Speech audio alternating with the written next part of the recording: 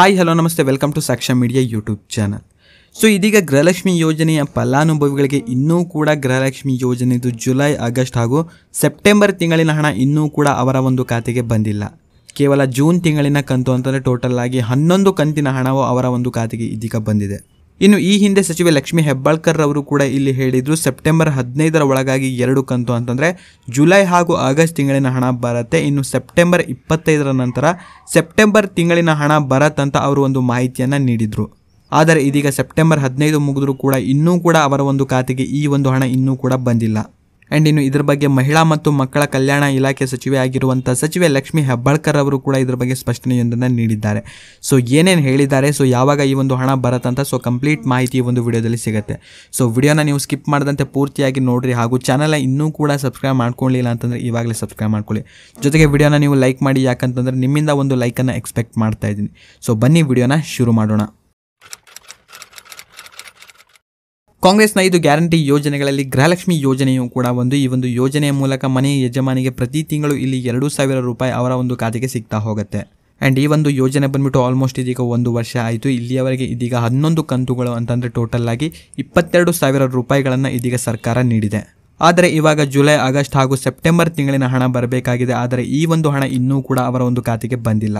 ಇನ್ನು ಸಚಿವೆ ಲಕ್ಷ್ಮಿ ಹೆಬ್ಬಾಳ್ಕರ್ ಅವರು ಕೂಡ ಈ ಹಿಂದೆ ಹೇಳಿದ್ದು ಸೆಪ್ಟೆಂಬರ್ ಹದಿನೈದರ ಒಳಗಾಗಿ ಎರಡು ಕಂತು ಅಂತಂದರೆ ಜುಲೈ ಹಾಗೂ ಆಗಸ್ಟ್ ತಿಂಗಳಿನ ಹಣ ಬರುತ್ತೆ ಹಾಗೂ ಸೆಪ್ಟೆಂಬರ್ ಇಪ್ಪತ್ತೈದರ ನಂತರ ಸೆಪ್ಟೆಂಬರ್ ತಿಂಗಳಿನ ಹಣ ಬರುತ್ತೆ ಅಂತ ಹೇಳಿದರು. ಆದರೆ ಇನ್ನೂ ಕೂಡ ಈ ಒಂದು ಹಣ ಬರಲಿಲ್ಲ. ಇದೀಗ ಸಚಿವೆ ಲಕ್ಷ್ಮಿ ಹೆಬ್ಬಾಳ್ಕರ್ ಅವರು ಕೂಡ ಇದರ ಬಗ್ಗೆ ಸ್ಪಷ್ಟನೆಯೊಂದನ್ನು ನೀಡಿದ್ದಾರೆ.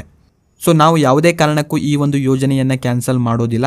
ಖಂಡಿತವಾಗಿಯೂ ಈ ಒಂದು ಹಣ ಅವರ ಒಂದು ಖಾತೆಗೆ ತಾವು ನೀಡುತ್ತೇವೆ ಎಂದು ಸಚಿವೆ ಲಕ್ಷ್ಮಿ ಹೆಬ್ಬಾಳ್ಕರ್ ಅವರು ಹೇಳಿದ್ದಾರೆ. ಸೊ ಇವಾಗ ಟೋಟಲ್ ಆಗಿ ಮೂರು ಕಂತುಗಳು ಬರಬೇಕಾಗಿದೆ. ಸೊ ಈ ಹಿಂದೆ ಎರಡು ಕಂತುಗಳನ್ನು ನಾವು ನೀಡಬೇಕಾಗಿತ್ತು ಬಟ್ ಇದೀಗ ಮೂರು ಕಂತುಗಳನ್ನು ನಾವು ನೀಡಬೇಕಾಗಿದೆ. ನಾವು ಇಲ್ಲಿ ನಾಲ್ಕು ಸಾವಿರ ರೂಪಾಯಿ ನೀಡ್ತೇವೆ ಅಂತ ಹೇಳಿದ್ರು, ಆದರೆ ಇದೀಗ ನಾವು ಒಟ್ಟಾರೆಯಾಗಿ ಆರು ಸಾವಿರ ರೂಪಾಯಿಯನ್ನು ನೀಡ್ತೇವೆ ಅಂತ ಸಚಿವೆ ಲಕ್ಷ್ಮಿ ಹೆಬ್ಬಾಳ್ಕರ್ ಅವರು ಇಲ್ಲಿ ಹೇಳಿದ್ದಾರೆ. ಹೌದು, ಇಲ್ಲಿ ಟೋಟಲ್ ಆಗಿ ಮೂರು ಕಂತು ಅಂತಂದ್ರೆ ಒಟ್ಟಾರೆಯಾಗಿ ಆರು ಸಾವಿರ ರೂಪಾಯಿ ಅಂತಂದ್ರೆ ಟೋಟಲ್ ಅರಿಯರ್ಸ್ ಅನ್ನ ನಾವು ಇಲ್ಲಿ ಕ್ಲಿಯರ್ ಮಾಡುವುದಾಗಿ ಸಚಿವೆ ಲಕ್ಷ್ಮಿ ಹೆಬ್ಬಾಳ್ಕರ್ ಅವರು ಸ್ಪಷ್ಟನೆಯೊಂದನ್ನು ನೀಡಿದ್ದಾರೆ. ಇನ್ನು ಯಾವ ಒಂದು ತಾರೀಕಿನಂದು ಈ ಒಂದು ಹಣ ಬಿಡುಗಡೆಯಾಗತ್ತೆ ಅಂತ ಸಚಿವೆ ಲಕ್ಷ್ಮಿ ಹೆಬ್ಬಾಳ್ಕರ್ ಅವರು ಇಲ್ಲಿ ಸ್ಪಷ್ಟನೆಯೊಂದನ್ನು ನೀಡಿಲ್ಲ. ಸೊ ಕೆಲವೇ ದಿನಗಳಲ್ಲಿ ಈ ಒಂದು ಹಣವನ್ನು ಬಿಡುಗಡೆ ಮಾಡುವುದಾಗಿ ಸಚಿವೆ ಲಕ್ಷ್ಮಿ ಹೆಬ್ಬಾಳ್ಕರ್ ಅವರು ಹೇಳಿದ್ದಾರೆ. ಸೊ ಇದರ ಬಗ್ಗೆ ಯಾವುದೇ ಅಪ್ಡೇಟ್ ಬಂತಂದರೂ ಕೂಡ ನಮ್ಮ ಒಂದು ಯೂಟ್ಯೂಬ್ ಚಾನಲಲ್ಲಿ ನಿಮಗೆ ಅಪ್ಡೇಟ್ ಮಾಡಿ ತಿಳಿಸ್ಕೊಡ್ತೀನಿ. ಸೊ ಇನ್ನು ತುಂಬ ಜನ ಹೇಳ್ತಾ ಇದ್ರು, ಜೂನ್ ತಿಂಗಳಿನ ಕಂತು ಕೂಡ ನಮಗೆ ಇನ್ನೂ ಕೂಡ ಬಂದಿಲ್ಲ ಅಂತ. ಸೊ ನಿಮ್ಮ ಒಂದು ಜಿಲ್ಲೆ ಯಾವುದಂತನೂ ಕೂಡ ಪ್ರತಿಯೊಬ್ಬರು ಕಾಮೆಂಟಲ್ಲಿ ತಪ್ಪದೆ ಕಾಮೆಂಟ್ ಮಾಡಿ. ಸೊ ಯಾಕಂತಂದರೆ ಇದೀಗ ಎಂಬತ್ತು ಸಾವಿರ ಖಾತೆಗಳಿಗೆ ಈ ಒಂದು ಹಣವನ್ನು ನೀಡಬೇಕಾಗಿದೆ. ಸೊ ಇನ್ನೂ ಕೂಡ ಅವರಿಗೆ ಈ ಒಂದು ಹಣ ನೀಡಿಲ್ಲ. ಸೊ ಕೆಲವೇ ದಿನಗಳಲ್ಲಿ ಈ ಒಂದು ಹಣ ಕೂಡ ಅವರ ಒಂದು ಖಾತೆಗೆ ಜಮಾ ಆಗುತ್ತೆ. ಸೊ ಇದೀಗ ಆಲ್ಮೋಸ್ಟ್ ಆಗಿ ಮೂರು ತಿಂಗಳಿನ ಕಂತು ಇದೀಗ ಬರಬೇಕಾಗಿದೆ. ಅಂತಂದರೆ ಟೋಟಲ್ ಆಗಿ ಆರು ಸಾವಿರ. ಸೊ ಕೆಲವೇ ದಿನಗಳಲ್ಲಿ ಈ ಒಂದು ಹಣ ನಿಮ್ಮ ಒಂದು ಖಾತೆಗೆ ಬರುತ್ತೆ. ಸೊ ಆಲ್ಮೋಸ್ಟ್ ಇದೀಗ ಎಲ್ರಿಗೂ ಕೂಡ ಮೂರು ತಿಂಗಳಿನ ಹಣ ಈ ಒಂದು ಖಾತೆಗೆ ಬರಬೇಕಾಗಿದೆ. ಸೊ ಇಲ್ಲಿ ನಿಮ್ಮ ಒಂದು ಜಿಲ್ಲೆ ಯಾವುದಂತ ಪ್ರತಿಯೊಬ್ಬರು ಕೂಡ ಕಾಮೆಂಟ್ ಬಾಕ್ಸಲ್ಲಿ ತಪ್ಪದೆ ಕಾಮೆಂಟ್ ಮಾಡಿ.